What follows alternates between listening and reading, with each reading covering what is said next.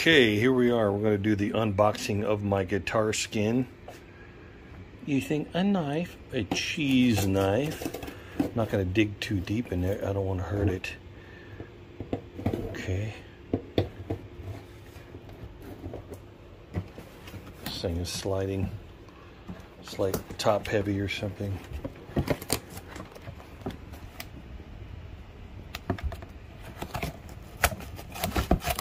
Thought they're going to put it in something else. Set One of those roll things. Let's see if I could just slide her down.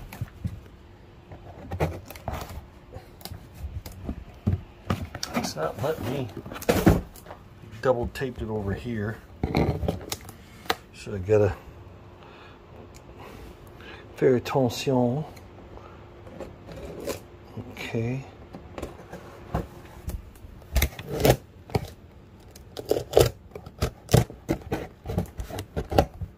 Okay, on this side. There we go. Should be rid of the Opino Ouvre.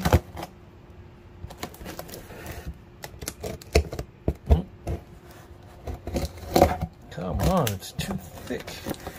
They taped it too thick. Look at that. Ah, that's a dangerous tape job. Okay, here we are. Put this knife down. Okay. Okay, there's the roll. Ah, those are punks. So here's the guitar skin. Here we go. My guitar skin. It's come in the mail there's what it looks like. Well, on a baby guitar. Haha, that's just the label for it. But there it is down inside the tube. I want to open it up here. Let me tap it down in the...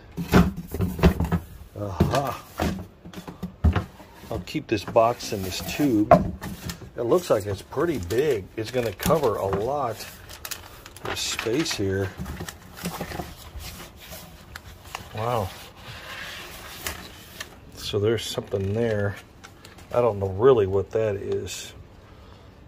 I'm not quite sure. Just striping or something. Additional stuff. But look at this. It, the quality is very high on this.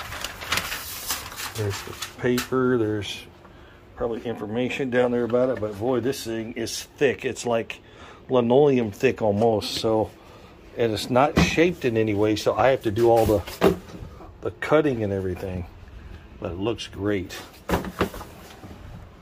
Look at that. That's what's gonna I'm gonna end up working on putting on my on my guitar. It's beautiful. It really is.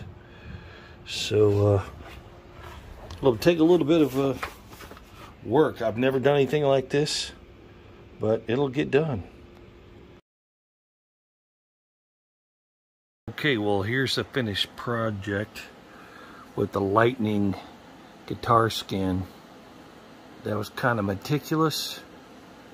You can kind of see some of the seams where I had to seam some of that together especially up and around this area where the knobs and the switches. And I didn't put any in the middle between the pickups. I, I wanted to but I thought eh, it's okay the way it is for now I still have that piece if I want to match it back in and layer it down. But uh, here I see uh, this is my dream to have to uh, take the skin and put it around my logos. Petra Stryper, two favorite Christian bands, rock and metal bands. And then you got my ministry logo here. So the lightning effect, it kind of gives it an idea that the logos are popping through the lightning or the lightning is enhancing the logos somehow. But you see the seams in some of those areas where I had to really play with the decal, the lightning decal, but it gives a much better look than just a black guitar. Ibanez, I'm not going to do anything with the headstock up here. If I come up with something creative, I might throw, throw a lightning edging on it, but I don't think so. But uh, now it ha has more of a flavor of its own. So that's that. Now I'll take another picture of it. I'm going to send this video out So uh, these are $28 off of Amazon. And then uh, here, this company, it's called uh, Design Devil Custom Guitar Skins. And they actually say you can email them at Gmail. Custom Guitar Skin, you can actually upload your own, like I did here with a company, and they uh, printed me out a logo. I could have done the whole guitar this way, which I don't think would have looked right. So I just left it at this size. But this company will do any kind of logo you want. This is the company I got it from. It's pretty cool. Uh, kind regards the Design Devil team. If you purchase one of our skin wraps from our huge range, we're also including a free set of customized or custom racing stripes guitar decals to th say thank you for your order. Uh, they came in the package that they didn't make sense to me. They didn't have a color that I think would go with this anyway, so I didn't. But if you like what you see on my guitar from this these, this company, it's called Design Devil, and they say uh, send an email to Design Devil with the subject custom guitar skin. Attach your high quality art imagery file. That could be JPEG, PDF, all those files there. Send us kind of some information, for example, sizes needed to print and what country you live in uh, for postage reasons. And then they also said make sure measure your guitar widest and longest points. Add an extra 1.5 inches for bleed. I don't know what that means. A little bit. I do. Some of that is for uh, sizing but I had no problem. That I, I think I took a picture of this skin. It was a big square, probably 16 by 20 at the biggest. But look at that. It's it's a vinyl. It's literally vinyl. And it's kind of like what you put on a car or anything.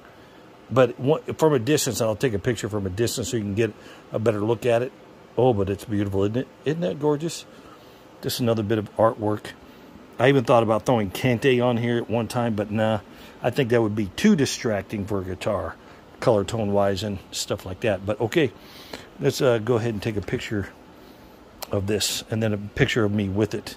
Okay.